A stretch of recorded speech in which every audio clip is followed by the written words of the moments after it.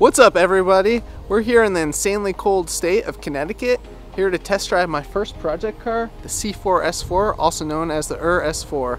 It has been in the hands of my brother for the last few years. Um, it's five cylinder turbo goodness, and uh, we're just gonna check it out, see how it's running, and uh, at the end of the video, kind of gonna fill you guys in on where it might end up. Um, so stay tuned for that. For now, let's take this thing out. Alright, so as you can see, this thing starts like a champ. It's got 200,105 miles on it. Um, this thing's a tank. So as I said before, this is pretty much the first car that I started to tinker with seriously after college. So that pretty much consisted of building this thing from the ground up. Uh, starting with mostly the engine. So if you guys don't know, this is a AAN, which is a 2.2 liter inline 5 turbo. Out of the factory, it's good for, if I remember correctly, around 230 horsepower or so. It's a pretty quick car stock.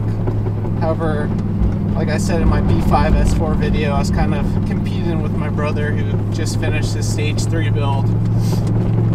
So this thing has been extensively modified in terms of engine work. It's got a completely custom tubular manifold, uh, GT3071R turbo, full 3 inch exhaust, downpipe and everything.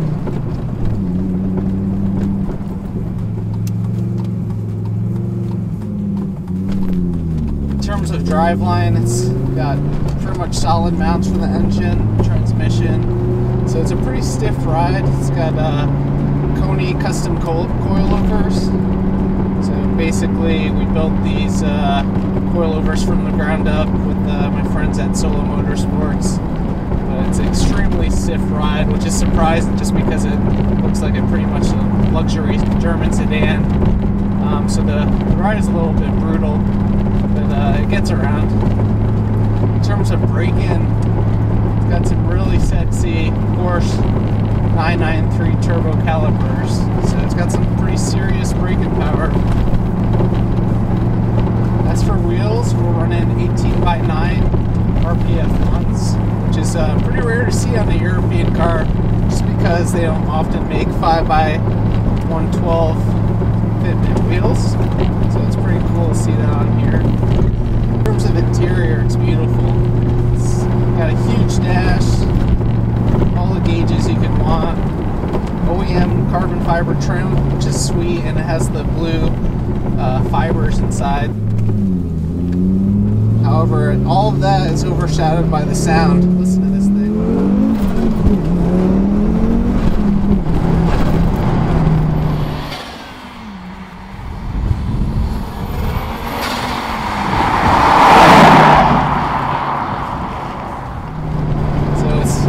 got some pretty violent acceleration.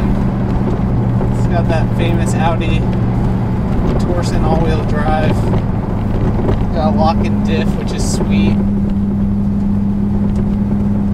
Got some fixed back racing seats on here with a harness. Uh, this thing was pretty much set up as a daily. However, you could bring it to the track if you wanted. It's, I guess the only downside of this car is it's pretty heavy but it's still really, really enjoyable to drive. Super, super smooth, uh, besides the stiffness.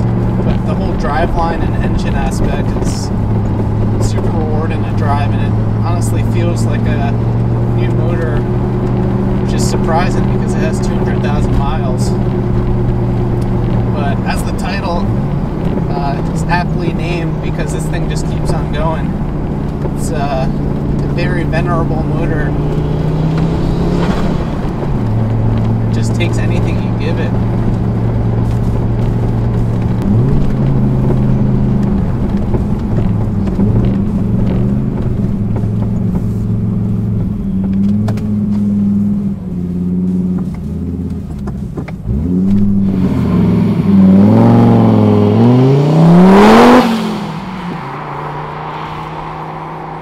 This thing is a 1993 and this thing was just packed from the factory with features. We've got a sunroof.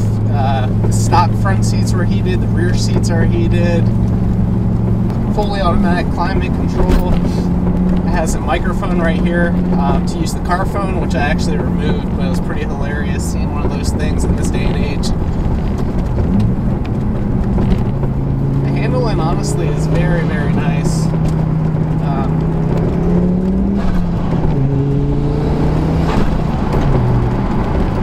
like I said, it's a little heavy, so it kind of wants to plow through the corners, but uh, once you uh, come out of the corner, just has so much traction, it just pulls you right through it. This is the original S car, so it's just packed with technology and performance, and as well as all the creature comforts you could ever imagine.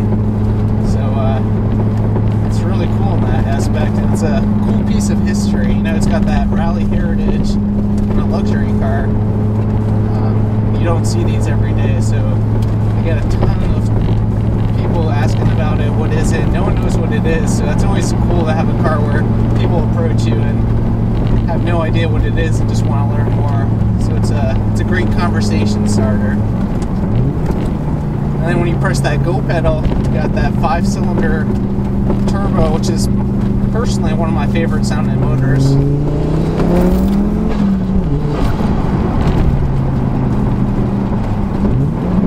It's hard to beat that.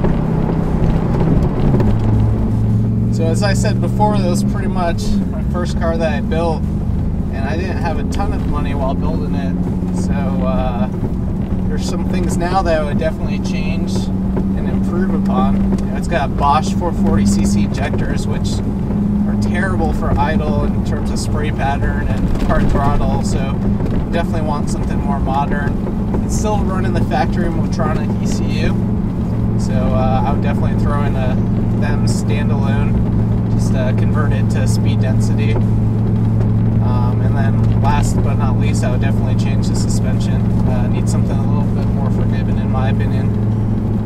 But all in all, it's a great package and drives really well.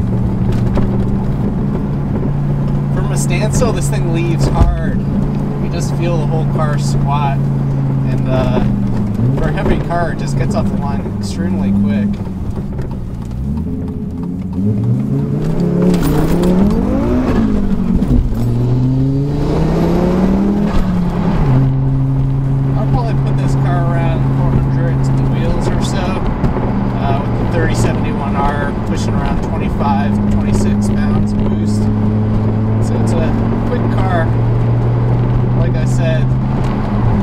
Upgrades if I get this car back, pretty much convert it to E85, up the boost a little bit see what happens.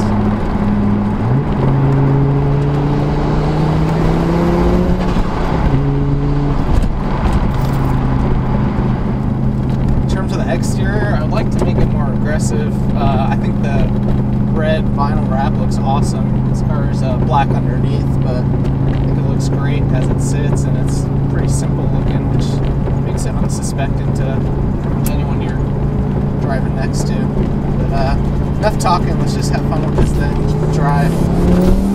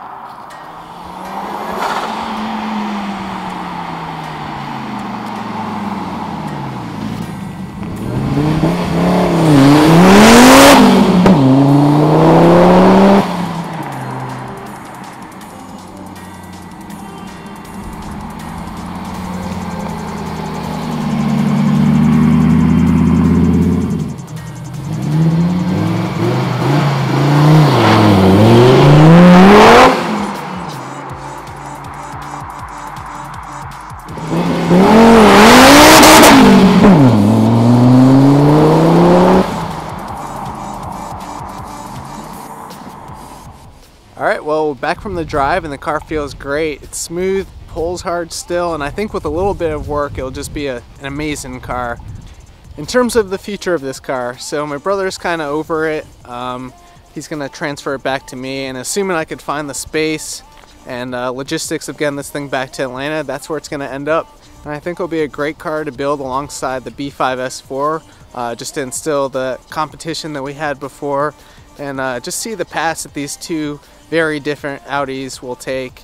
Um, and I think it'll be fun. So stay tuned for that. Catch you guys next time. Peace out.